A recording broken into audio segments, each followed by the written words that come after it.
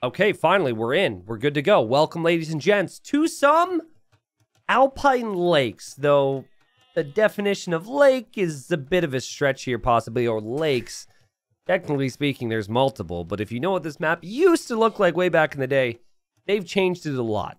Um, the big talking point on this map is you've got four fish on one little pond uh, next to your town center on each side. There's no other access to water. And it's actually possible to take these fish with a mill. So you can dock if you wish to. That's always an option. But a lot of players like to mill it. We'll see what these 800 ELO players want to do. We've got some really nice names here. Obviously, 800 ELO, while it is technically low ELO legends, they've got a lot of talent these days, right? Got a lot of things that they can work on and things that they can improve, of course, but really solid rank to be at.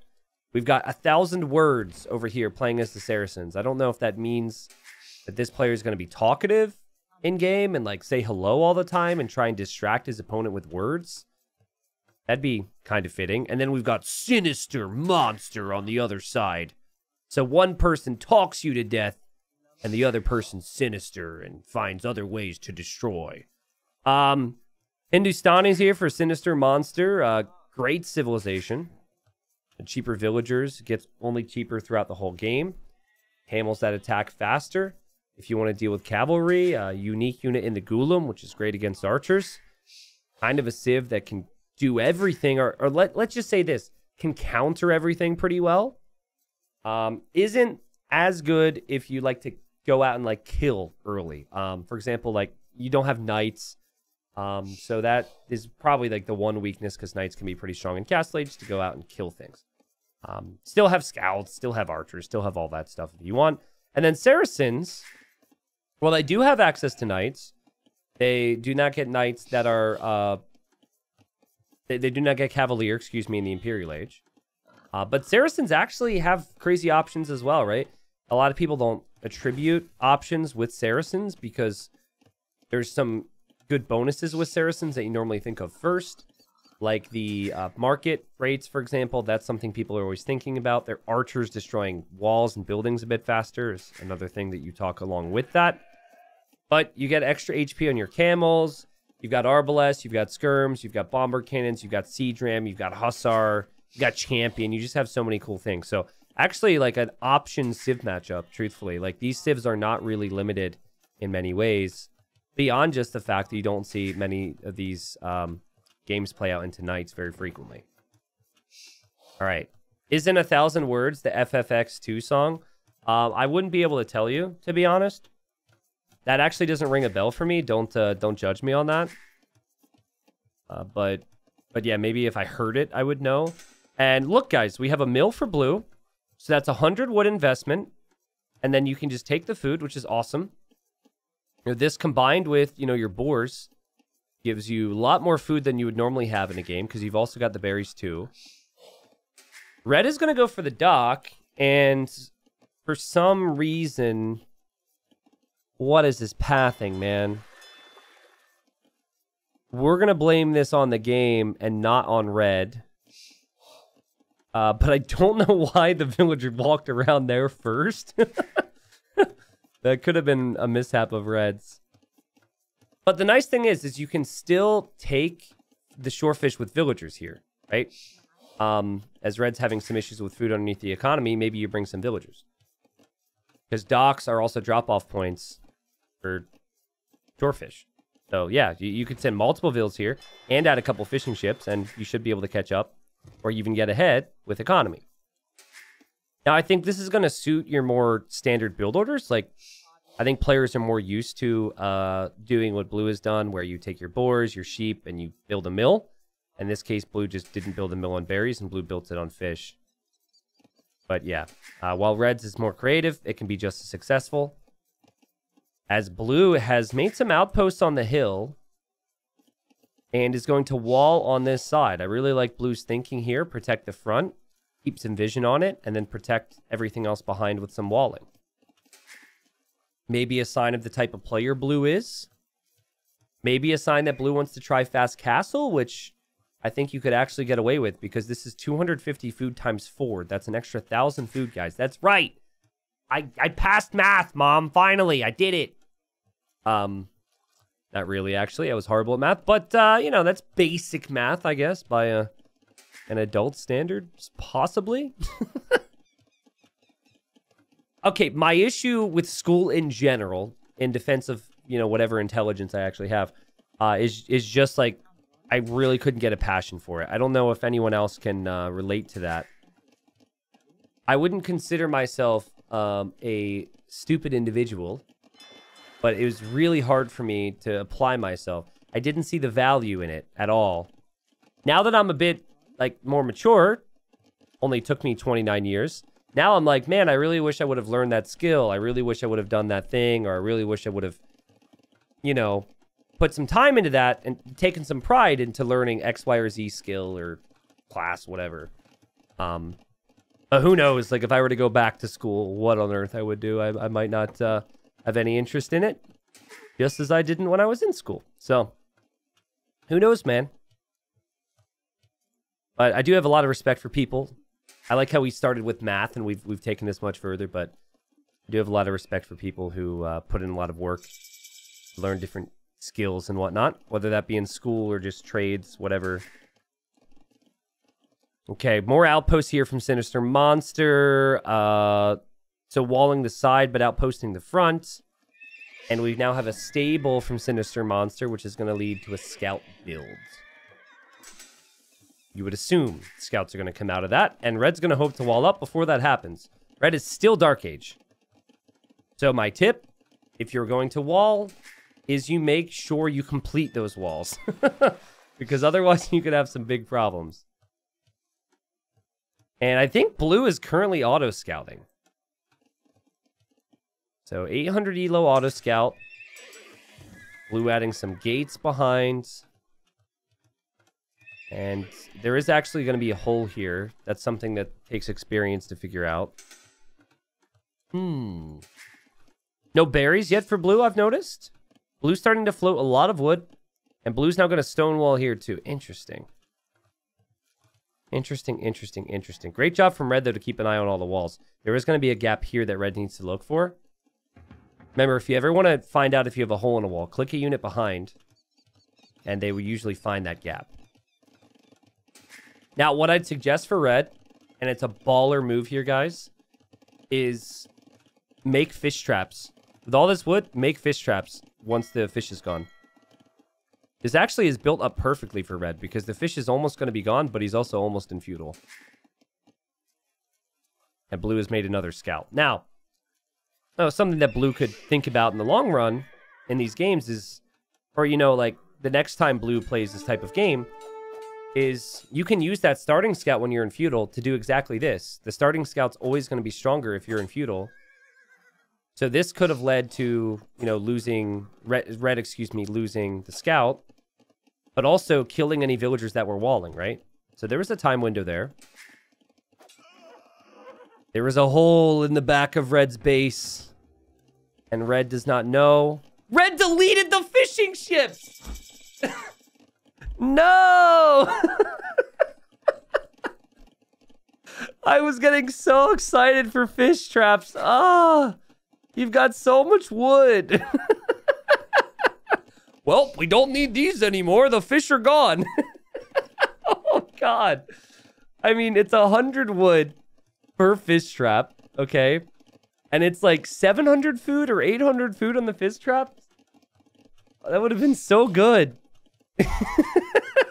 but he probably just, he probably didn't think about it or he didn't know. And that's a learning lesson.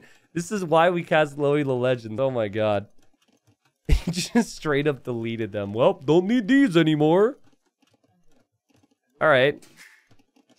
Um, Blue seriously going... Oh, that's not an outpost. That's a scout. Okay. But Blue is now in Red's walls. And Reds must be thinking right now, like, why? How is this happening?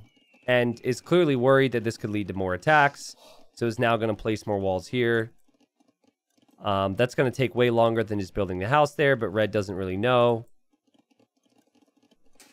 And this game is hard, guys. This game is hard. Okay, where are you going here, Red? Okay, so now Red clicks the villager to the wall, and that was just a random scout from Blue, so Blue's not even interested in attacking. Got it. All right. Notice how Blue's mind works here, though, because, again, in a normal game, you place one mill and it's normally on berries. But in this case, Blue did the right thing and placed a mill on shorefish. You can tell that Blue got here through a lot of practice because Blue is now not thinking, oh, I actually need a little bit more food. Let's just place a mill on the berries. Okay. Scout there attacking the villager. Red's going to try and save the villager, but in the process is going to let the scout back inside the walls, which is going to be very upsetting for all the people that are still in here. Now, guys, that hole has made a big difference here because Blue, when Blue did the little scout around, scouted the strategy from the Saracen player. Zero on food right now for Red. Red really needs to use the Saracen market. Like, really needs to sell some wood and buy some food, possibly. But yeah, so Blue knows my opponent's going to go archers. Great. And Blue is stonewalled already. And Blue's on stone with the Hindustanis. And the Hindustanis have a great anti-archer unit. Blue's in an amazing position. And Blue's going to get wheelbarrow for now and eventually click up to castle. What about red? What what's red game? What has his game been like? Okay, scouted a little bit. Hasn't scouted a ton, and then obviously lost the scout. And is now walling here too. Okay. Interesting. Probably hard for red to figure out what was happening. The archers are on the move though. Fletching is in. That's a lot of army, and blue's still not even on the way to Castle Age. The scout is now attacking, and I think red just keeps thinking, like, God, like, uh, my walls aren't complete. How does he keep getting in? That is going to be the third kill in this game, though, for blue. Has killed two villagers and killed the scout. And hasn't had to create a lot to really make that happen, right? Okay. I'm personally, my mind is still very much on that whole fish trap situation. I feel like if Red had the fish traps, Red would have the food to go Castle Age right now. Red's ready to move out. Blue's getting cav armor right now. But he's also getting infantry armor, so might want to make some camels and also some Ghulams. And now we've got another scout attacking red villager, and that's going to be villager number three that goes down to one scout Red doesn't really seem to value his economy as much as other people, deleting fish traps and also losing villagers. But here we go. Saracen archers. Panic time. Panic time. No, you can do it. Red didn't think he could do it. He saw the house wall probably and just figured he must be fully protected. That's actually the weakest point, and now Red's going to attack the stable. This is not Red intentionally attacking these things, I don't think. This is just the units automatically attacking something when Red moves them there. Red is on the way to Castle Age and has a lot of crossbowmen. And lost another Vill! Blue's being a little nerd, though, man. Blue even pulled that back. And... oh, another wall. Oh, God. it's already walled. Red. Oh, I have a thousand words for this, but I'll only say two of them. That's unfortunate. Oh, jeez. All right. So now these villagers are on the other side of the walls, and now they're stuck. And Red still got more work. I mean, Blue has played very clean. Killed a lot of eco with very few scouts, and is building up towards the next options. Is going to drop a second town center. Yeah, had Red committed after one of these buildings with Saracens, the building would have been down already. Red would be running in, and I think Blue really needs to force down a castle I don't think Blue really realizes how fast this stuff is going down with the Saracens. And, okay, now these villagers are running over here. 25 on gold for red. Oh my goodness. I need to turn market events back on. Oh yeah, he used the market all right. Oh god, Blue, what do you do? Ah! What's happening? Red, run through. Blue, don't place it there. Make siege. Don't house wall out archers. They have range, man. Oh. You know if my falsetto comes out that there's a problem. Oh, sheesh. Oh, boy. All right. Well, if this doesn't sum up low elo for you, I don't know what does. Hey, Red, hey, go back. Go back. Just stay where you were. You don't need to move. You're fine. This is a donation. This is a Christmas gift. Just don't. No. Ah, 800 Elo. I love you. I love you so much. You're, but you're so much better than you give yourself credit for. Red could have denied the whole castle, but instead he dives in now. It becomes a very different game. That's my... The way I describe that is the anti-micro-micro. Meanwhile, we have two Light Cav, and they have been killing things over here. Does Red know about it? Nope. Does Blue know about it? I don't know. This game is really difficult. It's super messy here. Red's got the lead. Blue, however, has Ghulams on the way. And that is just a super tough unit to stop if you're making archers. Wow. Credit to Blue here. Is Blue got a lot of value from very little with the scout line. And you can tell why Red wants the wall up because it's been a real issue for Red. Red didn't research Bodkin Arrow, by the way, so he does not. He's not doing plus two attack. He went for armor instead, and these Ghulams are going to mop this up. The the crossbows have no chance, and I think Red has no chance any longer in this game now. Has fully committed to archers. The Ghulam's just a unit you cannot stop now. And while Blue is way behind in economy, I think that once Blue takes the map control, Blue can sort this out. Lol, disgusting civ. They take no damage, zero. 11 OP. Okay, and this is going to be followed by a resign, I imagine. Yeah, that's what I figured. Okay, well, listen. Let me tell you what does take damage. Villagers building a castle. Doesn't matter if there was, uh, you know, if Blue had 25 million resources, except for Stone, couldn't make another castle. Let's just imagine that scenario. If that castle doesn't go up, he never gets the unit, man. So, Red, you were there. You had it. You absolutely had it. Just like the classic situation of, I feel like I need to do something all the time. So let's move when I don't necessarily need to. You leave your units here, that castle never goes up, the game's over.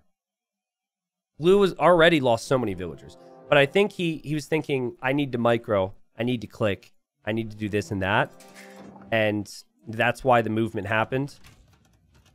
I think you just put your units on stand ground to just hope for the best there, right?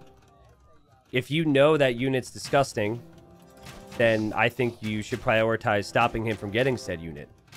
Now, another thing, and this could have been a misclick from Red uh, because of the stress of the situation, but Bodkin Arrow over armor is the way to go. Um, because Bodkin Arrow gives you extra attack and extra range. It's possible that Red researched armor by mistake, but armor on archer units is not the play there. Want to go for the attack. Do I agree that Ghulams are like a, a really crazy unit? For sure. Do I agree that Hindustanis have some balance problems? And that's why I'm adding an extra ban for Titans League Silver 2. So maybe we don't have that discussion as much. For sure. Do I think that this had anything to do with balance? Not really. this comes down to, to gameplay and it always does at low elo, guys. As much as you might be like need to cope by blaming it on a civ, the reality is you got to look yourself in the mirror in the majority of your losses. Uh, I know there's are some situations and some matchups where you can point to the civ, but realistically, there's always something that you, I'm talking about you, the player, could have done a little bit differently. So, um, that that applies to me as well. To be honest, I want to be clear on that. It's not just I'm not just speaking to my low elo players and my mid elo players. I I cope as well too, blaming civs, right? Um, that's just how we humans work sometimes. But red, like deleting the fish trap, fish traps, losing five villagers to a starting scout. Uh, again, there's just a couple things there that aren't just the civilization. Probably not having his best day. I'll see if he actually gave GG to his opponent there. I think Sinister Monster played pretty well. Sinister Monster is a lesson that's going to be learned there is do not underestimate Saracen archers against houses because I'm pretty sure Blue thought, oh, I can drop the town center here and take my time with my castle. And if Red would have played that properly, that game was over. Um, someone says, whenever I lose, it's because my Civ is bad. Okay, yeah. Yep, yep. Whenever you lose, it's because your Civ is bad, but whenever you win, it's because you're a good player, right? That's how it always works. Oh, jeez. Come on, let's see. Did he, Red, at least give your opponent the GG afterwards? No GG. Not a fan. Not a fan. Liked your username. Thought your commitment to archers was pretty good. But be a little better than that. Come on, man.